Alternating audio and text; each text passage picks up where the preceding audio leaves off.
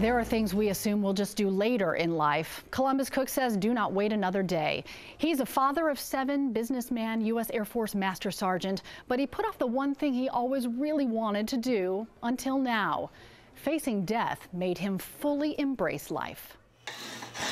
But that was very fun. There are skills we practice, even master. Create something and express myself. But some talents are just given. Remember at age four that I was able to draw and not draw like a kid. People noticed Columbus Cook was a child with an extraordinary gift for art, a savant, they said, but he was made to feel bad about it, different than the other kids. It, it actually made me embarrassed, and so I was afraid to be out and communicate with the public using my fine artwork. He spent his entire life hiding his gift.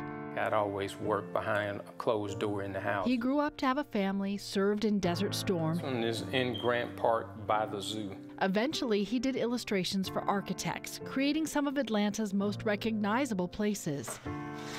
But it wasn't the kind of art he loved most. I'll do it later, he'd say. When I had retired from the military, and then I could you know, get out there, start expressing myself. Then he found out later was a luxury life would not offer him. When the brain cancer came up, it really just changed a whole lot of things. At that point, he did not recognize me by name, which was really painful. The tumor was growing so fast, and he was a little bit disoriented. Stage four brain cancer, so aggressive he had surgery the day after doctors found his tumor. But he had a complete moment of clarity where he said, if I make it to the other side, I promise you, I'm, I'm going to do, I'm going to do art. I'm going to do what I was put here on earth to do.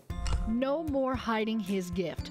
No more dreams deferred. His friends helped build an art studio in the basement. This is my mother. It just kind of represents her. He started seeing the world in a different way.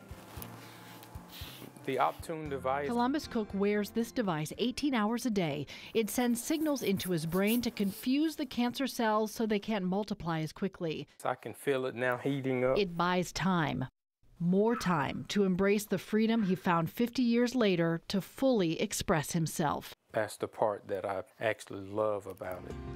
Art is his gift. Columbus says cancer is too. It's helped him see his life differently. Just never give up. Keep hoping and praying that opportunity, it is out there for you.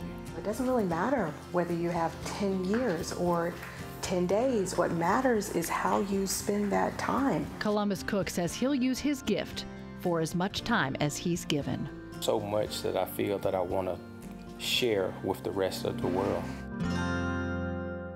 After his brain surgery, Columbus had to relearn how to hold a pencil and write a simple letter. And look what he's been able to do over just a matter of months. On his bucket list now, a public art show. More for you on 11alive.com.